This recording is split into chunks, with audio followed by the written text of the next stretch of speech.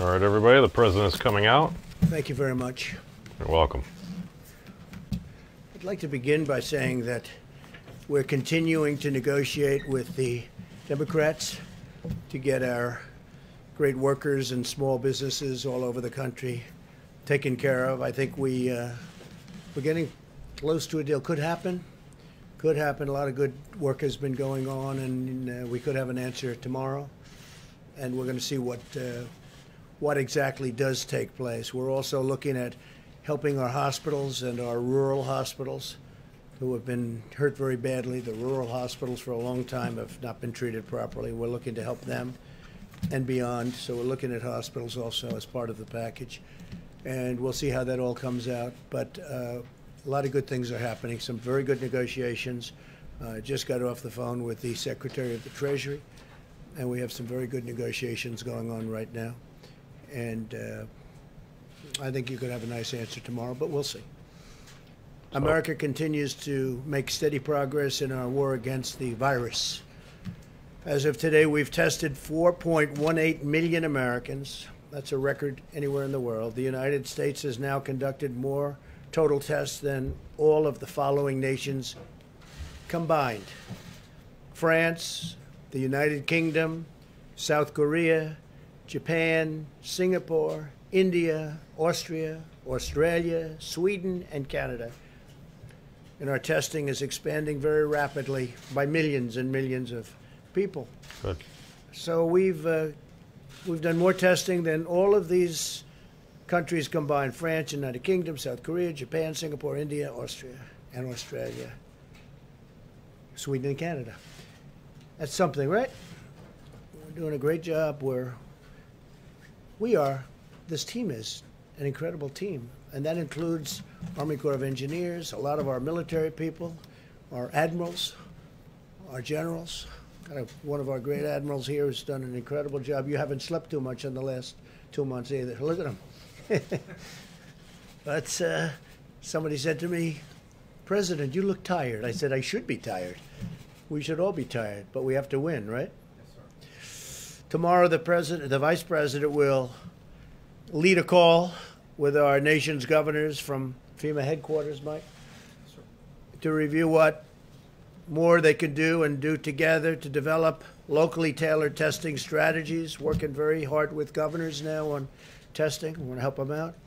Before the call, we'll send them a full list of all of the large laboratory machines in the states. They have a lot of machinery in the states that some aren't that aware of, but they, they're there and they're really high quality machines, by the way and the potential capacity of those machines if they're fully utilized. A couple of them didn't know that they could be utilized in a different manner. They were only up to 10%, and they can go 90% more.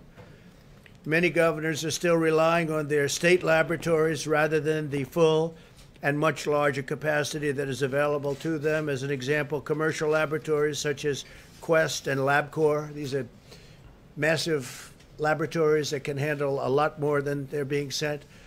Uh, a few days ago was at 30%. They're only at 30% capacity now. I don't know, probably the same, but they have a lot of capacity. In addition, academic laboratories, big research labs. Uh, there's tremendous capacity out there. And some of them want the fast, uh, you know, the instant uh, Abbott machine, which just came about due, due to the research during this little short period of time. And it's very quick, but uh, these labs can do it very quickly also, and they're, they're massive. They can handle much more, much more than the machine, the small machine can handle. We continue to procure millions of swabs, test collectors. I have something here, just happen to have It's a swab.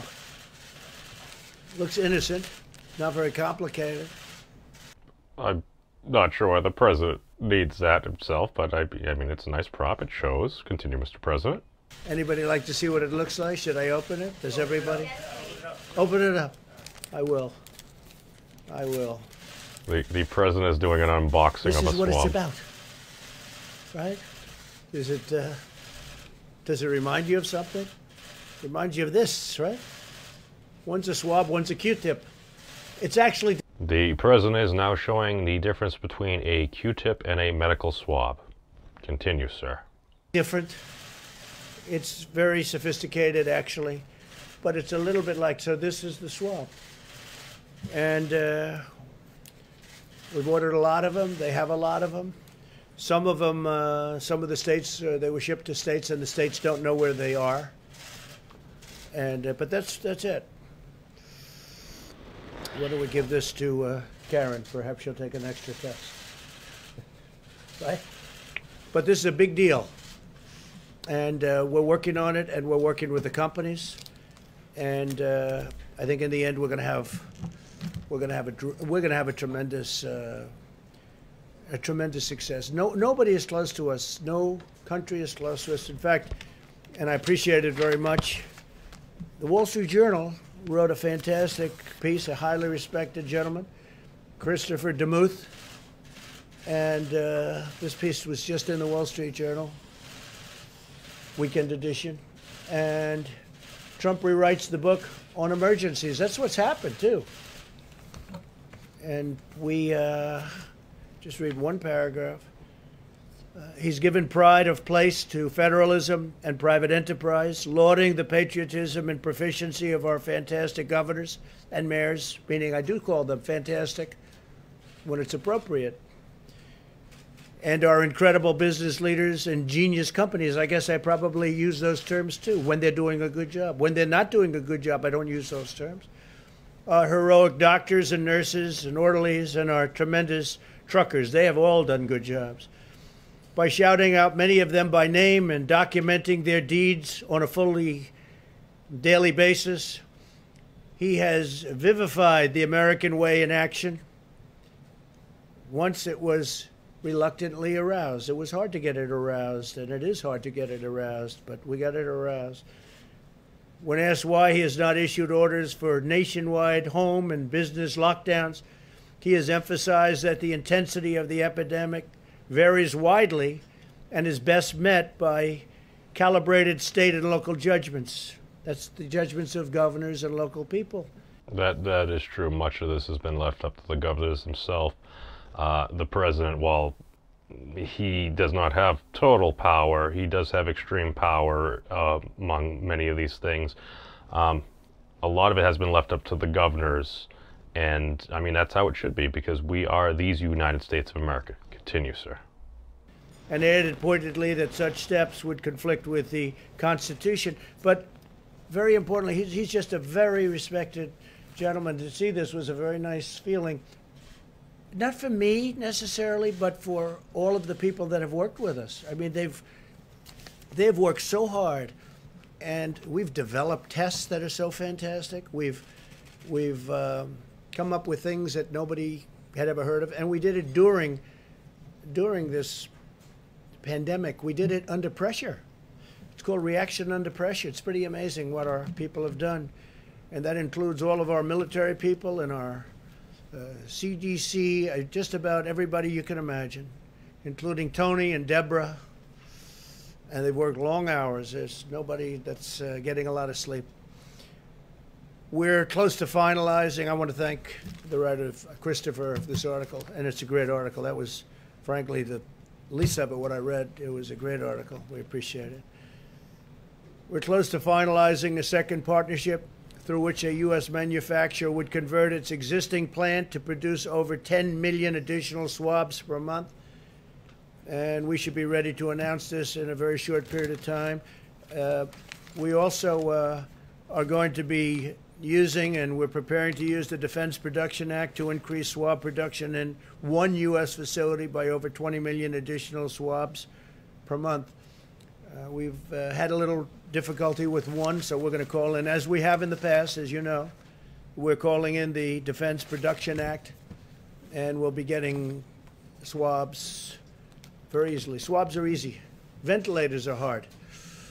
Ventilators are a big deal, and we are now the king of ventilators. We have so many ventilators. You know, I said nobody that needed a ventilator has been turned down. It's pretty amazing.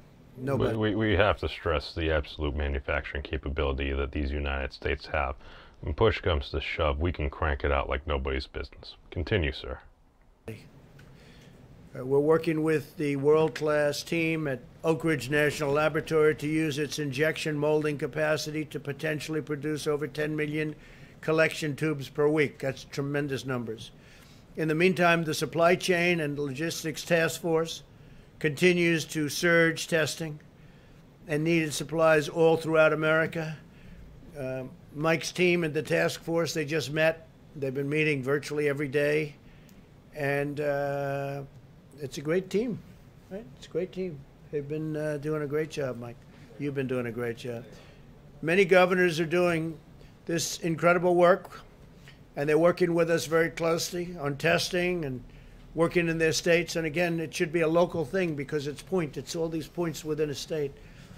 Um, but we're helping them a lot, and we want to help them a lot. We're going to help them more than a lot, actually. If you think about it, with what we've done. Think of it, we've done more than all those countries combined. We're encouraging them to share their successful strategies with other governors. Some of the governors are doing a better job than others. The robust capacity that we've brought online will empower governors to deploy sophisticated strategies so they can safely reopen their states. Uh, some people believe in testing very strongly, and other people believe in it less strongly, but still, it's a very good thing to have. I think we can say that. Some people believe in it like they can't exist without testing, and other people don't believe in it nearly as much.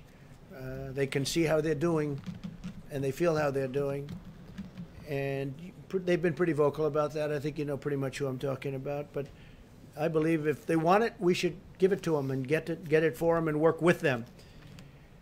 You must remember that the governors wanted to have total control over the opening of their states, but now they want to have us, the federal government, uh, do the testing. And again, testing is, is local. You can't have it both ways. Testing is a local thing, and it's very important. It's great, but it's a local thing, and uh, we're going to get we're going to get it done uh, to a level in a very short period of time because all of these, all of the swabs are coming in, all of the necessary materials, a lot of them, as I said, are already there, but a lot of people don't know that yet. Uh, but we'll, well, if they don't know it's there, that sounds like a problem. It sounds like a breakdown in communication. Why, why don't people know? I'm, I'm curious about that. So continue. We'll be doing uh, testing at a level Already we're doing testing at a level nobody's ever done before, but we'll be doing testing at a level that the biggest tester in the world will be very happy very soon. And it is, it's very much like ventilators. Uh, you don't hear the word mentioned, and that's much tougher, much tougher when you have to build these machines. We built thousands of machines. We'll more than uh, help the governors, and we'll make sure that uh, everything goes well, just like it did with ventilators, just frankly, like it did with face masks, on a much easier subject. As face masks, again, everything's easier than a ventilator. Ventilators are tough. Well, again, even if we have them, we need to get to the folks on the ground. I'm still seeing stories about different nurses not having N95 masks and whatnot. So, again, if people don't know it's there, that sounds like a problem. Continue, sir. But now, uh, I spoke yesterday with the president of Mexico and with various other countries. We're going to be helping them with ventilators. We have tremendous numbers of ventilators. Uh, in fact, I, I hear, I understand that uh, Governor Cuomo is going to be sending up to Massachusetts some of the excess ventilators that Thank you. Uh, we were able to get, and that's great. I think it's a great thing. The number of new hospital admissions is also significantly down. When you look at these numbers, it's a so good thing to see. Other than it, it, it, does depend on the state. I believe Governor Baker said we should be seeing our our spike either this week or this upcoming week. So, continue, Mr. President. The fact that we also know how people have been just ravaged by this by this curse, by this uh, horrible scourge, plague, call it. It's got many different names in many of the hotspots, including a 50% decline over a nine day period in New York City. That's a fantastic decline. It's a beautiful thing to see after going through the opposite. We continue to see improvement with declining trajectory of cases in Seattle, Detroit, New Orleans, Indianapolis, and Houston metro areas. More evidence that our aggressive strategy is working, and I thank the American people for their selfless devotion. The American people have done a hell of a job. We're uh, saving countless lives, though. And again, I'll say it because I always wanted to say, well, can you leave it open? Nobody ever heard of anything like this. Not since 1917, more than 100 years ago, has anything like this happened. And in those days, they had no real communication, so you couldn't say, go inside. Don't, you know, people just died. Almost 100 million people, it's reported. It's uh, tough. So, you know, the American people, what they've done is, uh, is incredible. And they've learned a lot, you know. And you see people uh, picketing a little bit, and uh, they want to get out. They want to get out and get back with their lives, and that's good. But they have learned a lot. They've learned about distancing, even now, at least until this thing. Well, I mean, the president likely encouraged a lot of that. He did say liberate Michigan as well as I believe a few other states as well. I have seen some pictures, and at least from what I saw from those pictures, assuming they're correct, uh, not everyone appeared to be socially distancing, and that does seem to be a potential issue. I mean, hopefully, God bless, and everyone will be all right. But, Mr. President, go on. Thing totally goes away. They've learned about their washing their hands and all of the different things that we've been talking about ad nauseum for so long. And uh, they get it. They get it. And some places the governors are ready to go, and other places they can't go yet, and they won't go. They want to they have to have it safe. I want it to be safe too. It has to be safe. We're, we're hearing that uh, Texas and Vermont governors are going to slowly start reopening the states as of tomorrow, I believe. Mr. President? And again, I, I have to say this, I can't emphasize it strongly enough.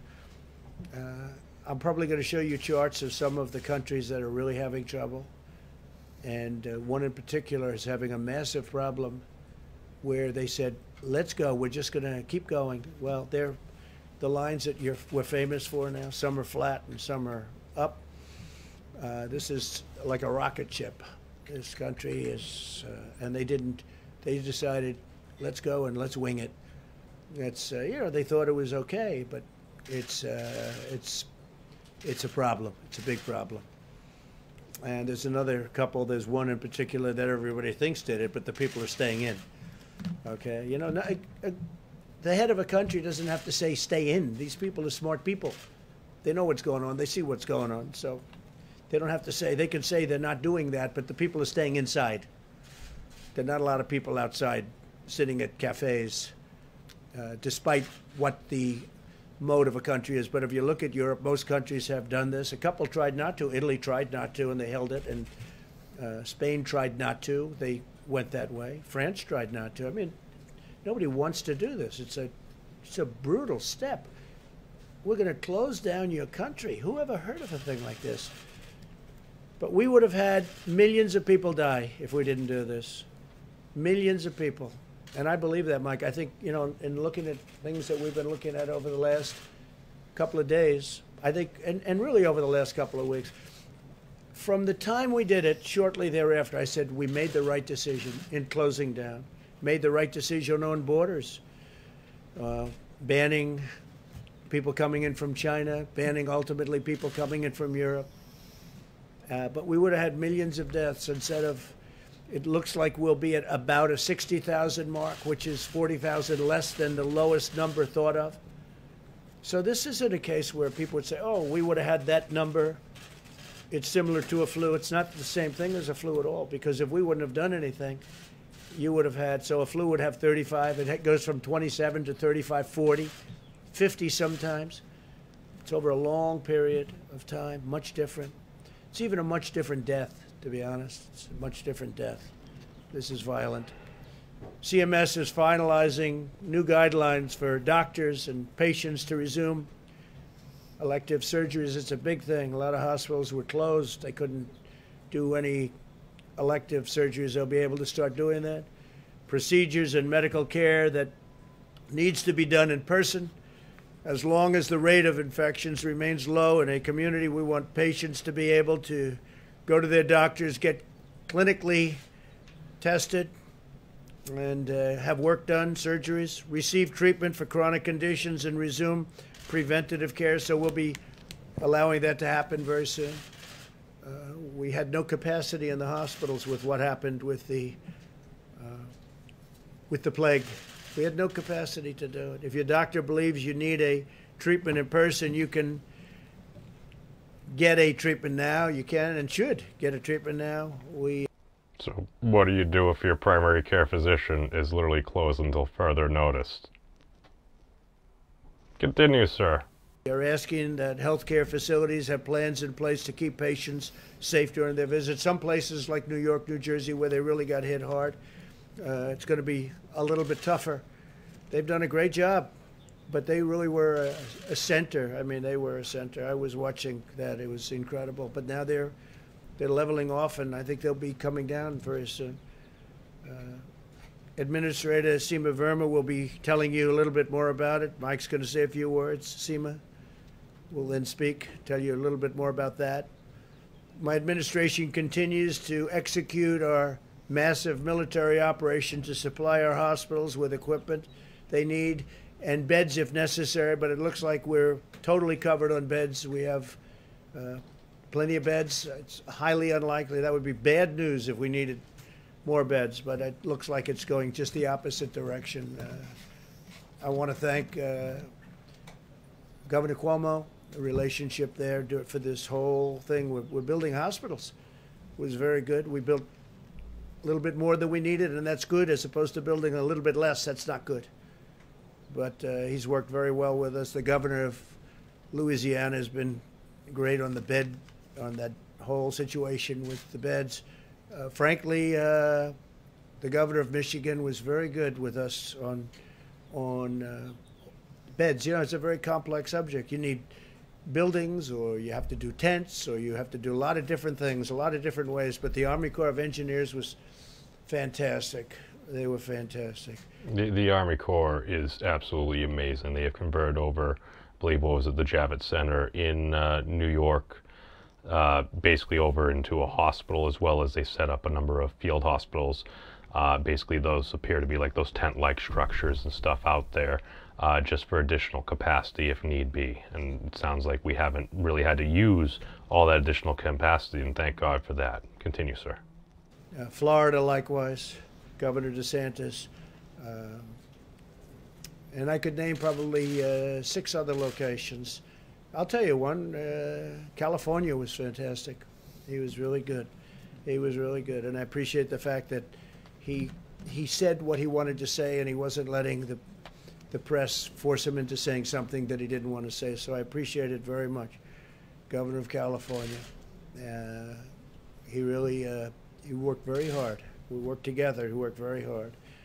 The federal government is currently procuring more than 100,000 ventilators through new production or purchases, with thousands already delivered. We've delivered thousands of brand new ventilators all throughout the country. New York would be, I guess, the biggest uh, user. And uh, they are now taking some of their excess ventilators, which is great, and they're sending them up to Massachusetts. I think it's 400 and uh, that's that's a great thing. Our total supply of ventilators continues to exceed by a lot total expected demand. Uh, Governor Cuomo said today that uh, no one who needed a ventilator was denied a ventilator. That's a beautiful statement. I appreciate it. And uh, all governors are in that same position. Uh, we do have a clip that I thought would be appropriate to put up today. Um, it's, it'll take two minutes, and I think you'll find it interesting, but we appreciate it. And let's see if we can do that. You'll turn out the lights, and we'll see if we can do that. Thank you. All right. What do we have?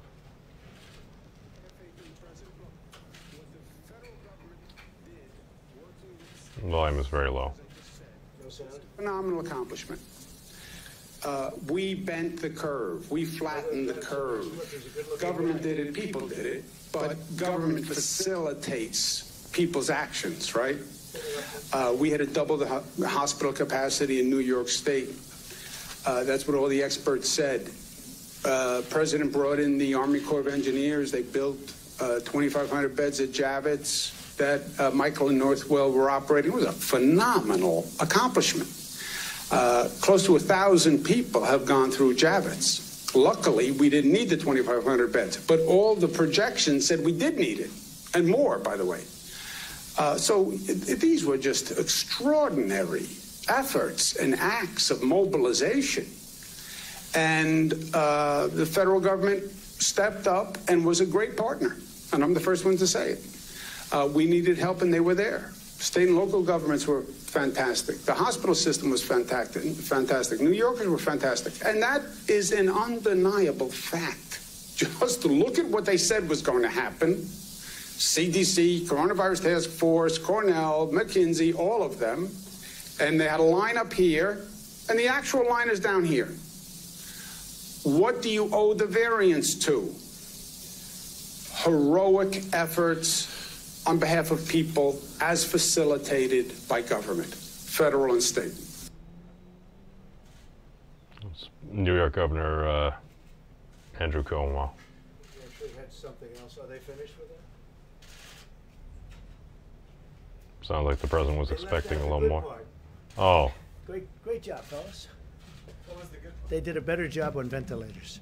No, Andrew had something else to say that was really nice, but we won't go through that. But he really, I mean, it was really uh, a good statement. Do you want to put the rest of it up, or do you not have it? I just think it's so good because it's bipartisan. You know, this is not about Democrats, Republicans. This is about a thing that hit our country, the likes of which has never happened to us before.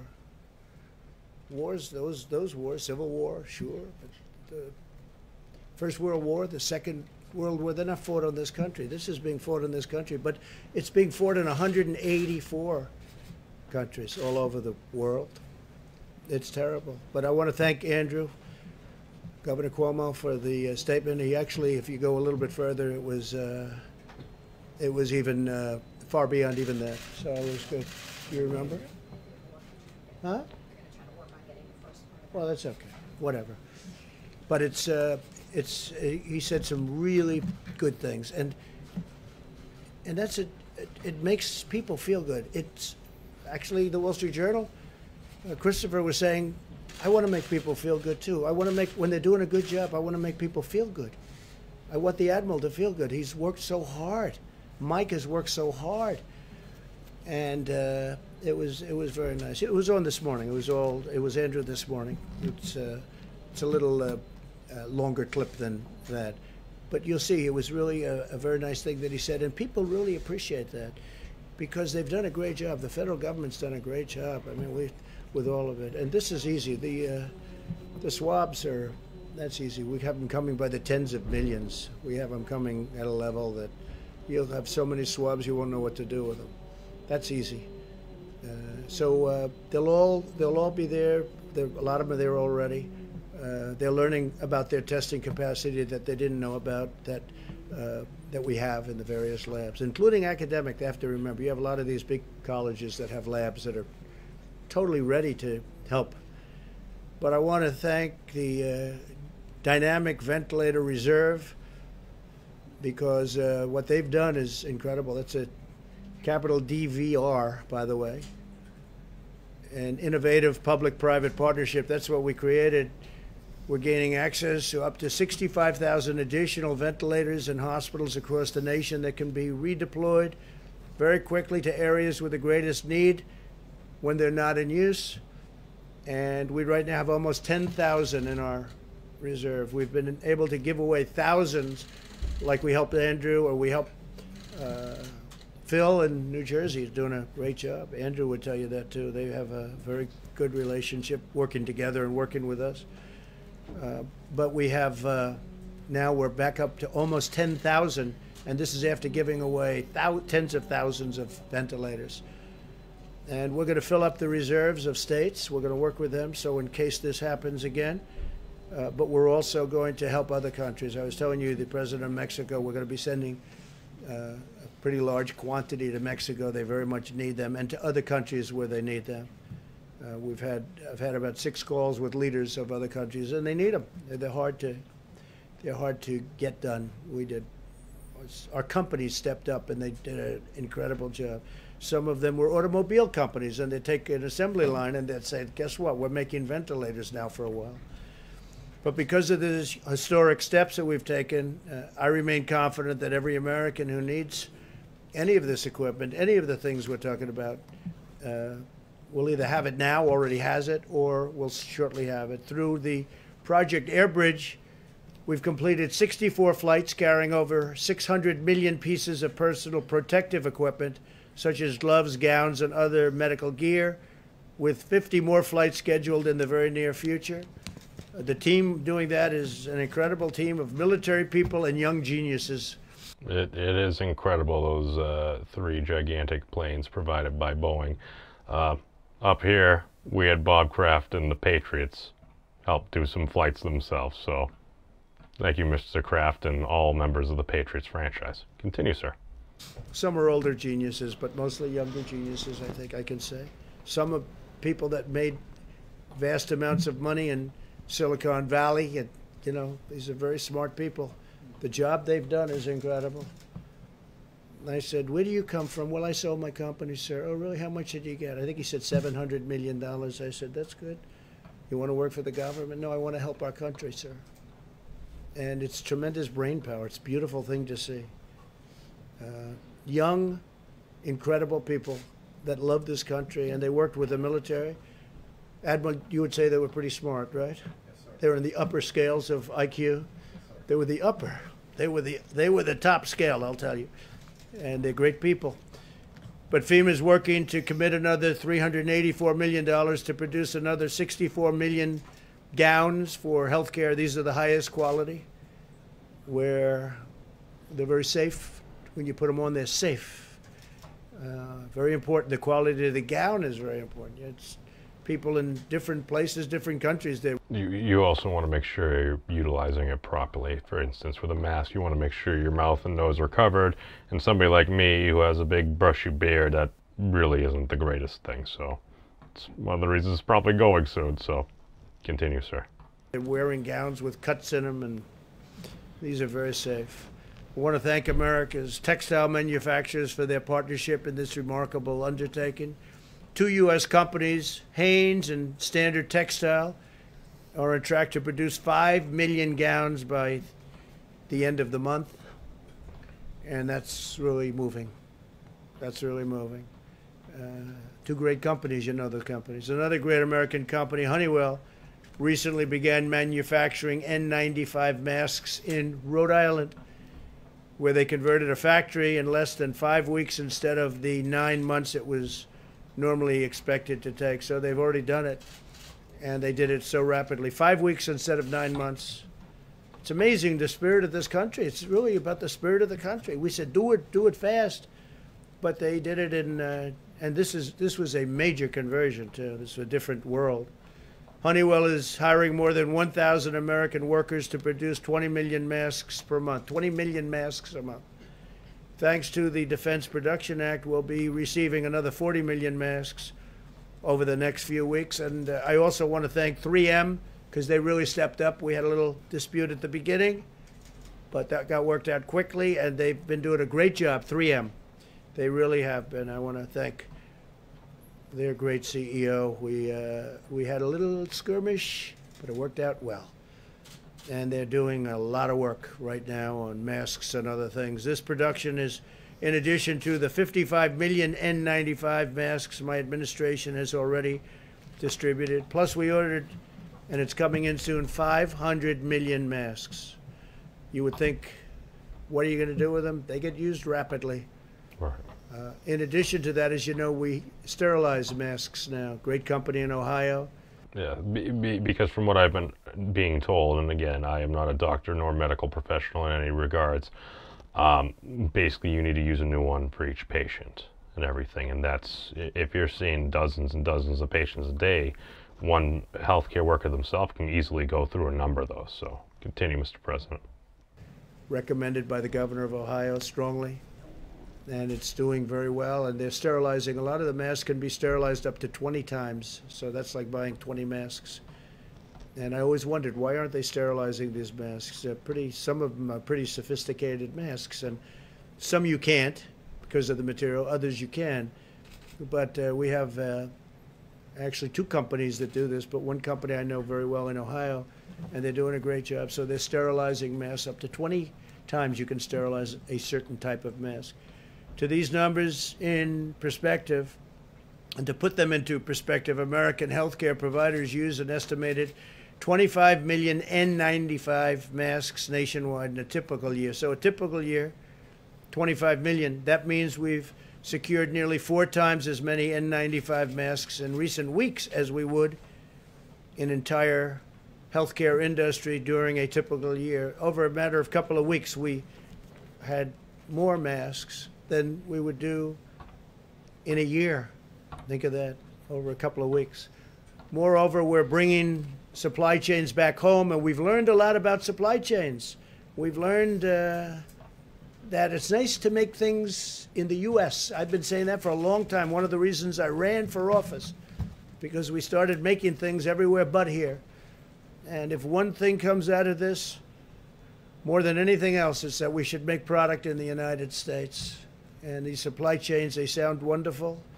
But if one country has a problem, the whole chain is ruined. And I've been saying it for a long time. I ran partially on that. I We, we, we do have a lot of uh, just in time uh, supply chains. Basically, that's something, at least when I was studying business in school, uh, basically what you do is you don't want to be holding inventory because you got to store it. And then if it's not actually being sold and processed, I mean, that is an additional cost to business. However, if you do have an interruption there, that can cause very major issues. Continue, sir. I ran partially on that. I ran on that and I ran very strongly against China. And then we made a great trade deal where they buy $250 billion. They're supposed to.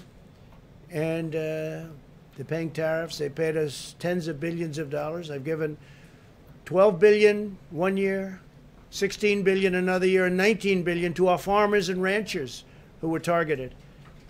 But, uh, you know, I ran on China and other countries the way they were ripping us off. They were ripping off our country. And China understood that. I mean, China fully understood that. And uh, they're, they're big, strong, smart people. And uh, I wasn't friendly, and it wasn't a friendly situation. And we end up making an incredible deal with China for tens of billions of dollars of product, 40 to 50 billion dollars to the farmers. The most they ever spent was 15 to 16. Now they're supposed to spend 40 to 50. Now, of course, the uh, the virus came along, and I'm not happy. I'm not happy. I let them know I'm not happy. So, you know, we had a great relationship with. We had a very bad relationship with China. Then we had a good relationship because we made a great deal. But we're not happy. This is not a good thing that happened came out of China, so we're not we're not in a position where uh, we're going to say much yet. But uh, the deal itself. That uh, that right there is something that just I I do wonder because even yesterday in his uh, press conference, the president said that he would explain someday. There's there's information that we don't seem to have right now, and I'm curious about what that may be. Continue, Mr. President. Itself is great. The deal is it's going to put many, many people to work in our country, but uh, all of that has to be taken into account when you look at all of the people that are dying in our country, but all over the world. All over the world, people are dying. I had a G7 call, and their economies are in tatters. They're shattered. The G7 countries. You have Japan and Germany and France the different countries, uh, Italy, look at what happened to Italy. Look at what happened to these countries. Look at what happened to Spain. Look what happened to Spain. How, how incredible. It's just been shattered. And so many other countries are shattered. So nobody ever thought this could have happened, a thing like this. It's very, very sad. But if we've learned something, it's about supply chains. I, I just saw yesterday where when the auto industry gets back, they have a problem because there's a, a supply chain going through a different country. And this has been going on for years, for decades. I, I, always said it was no good. Why do why do we make it? Why do you need a supply chain? Make very simple. Make your parts here. They get one part from this country, one part from that country. It's all over. Uh, I think a lot of this comes down to fiduciary duty. Sorry to cut you off, Mr. President, but uh, this is something I believe even Bret Weinstein uh, touched upon during his Dark Horse podcast the other day. It's just if you are a corporate officer and you are a part of a publicly traded company and you have a fiduciary duty to maximize that value to your shareholders, if you're producing something here and it costs you $10 and you can have it manufactured shipped somewhere else and it costs you two bucks, what do you do if you're trying to maximize your return? That's why we see a lot of jobs going overseas over the past 20 years or so. So continue, sir. Over the place. The problem is if one country has a problem, you have no car or whatever it is you're making. So we've learned uh, a good lesson. I think a lot of smart people knew that before. But we've uh, distributed many hundreds of millions of masks. This pandemic has underscored the vital importance of reshoring our supply chains and bringing them back into the United States where they belong, where they should have never left. What happens if you're in a war and you have a supply chain where half of your supplies are given to you by other countries? Who are, who are the people that thought of this? These are globalists. It doesn't work. It certainly doesn't work during rough times, bad times, or dangerous times. So we're going to continue to fight the virus. We're talking to China. We spoke to them a long time ago about going in. We want to go in. We want to see what's going on. And uh, we weren't exactly invited, I can tell you that. Uh, if you look at uh, some of the investigations that are going on in terms of um, World Health Organization, and I'll, I'll take it a step further. World Trade Organization too. World Trade. We we did years ago. Years ago, many years ago, the World Trade Organization. From the day China came in, that's when China bloomed. They were mainlining it, and then boom, they were up like a rocket ship because they took advantage of every little ridiculous clause in the World Trade Organization documents. I I believe somebody may have. Uh who may have utilized certain uh, regulations or stipulations may have once said that makes them smart. Continue. They were a developing nation. China was a developing nation. They make the cars, they make the plant, they make every, they make everything, and they're a developing nation. So we've had a. I might have gotten elected to a certain extent because of China and other countries. One of my big things was trade. The United States is getting ripped off in trade. Now Japan is paying $40 billion and buying a lot. That's before we even do the deal. U.S. Mexico was a great deal. The NAFTA was one of the worst deals ever made in trade, in trade history. And uh, I would also put the World Trade Organization in that same group. So I was very tough on these countries. With China, we made the deal and we became friendly, but then this happened, and this is. Uh, this is tantamount. This is something that's really incredible. I do want to read the, the something that I just saw today on television. I was looking and I just said, uh, that's an interesting statement. Uh, we talk about uh, the Democrats, and it was a statement made by Bret Baier, good guy, smart. On February 19th, there was a Democratic debate in Las Vegas. That was February 19th. That's way after I closed entrance from China 20th of into January. our country. So Bret goes on February 19th. There was a Democratic debate in Las Vegas. Three words weren't said during the debate: virus, coronavirus, or COVID 19. Those three words never came up. That was. Uh, I just thought it was a very interesting because you know you hear these people, some of the people, the Democrats said, "Oh, this, that." It never even was a part of their dialogue. We must remember, nobody would ever make anything political. Now they bring it up because you see what happened. So now, but they didn't bring it up. But I brought it up. I brought it up a long time before I made the trade deal, and uh, I was not easy to deal with. I was not easy to deal with. They understand that. We still have 25% on $250 billion that they have to pay us. And uh, it's a lot of money. We've taken in a lot of money, and we've had a lot of beneficiaries, including our farmers and ranchers.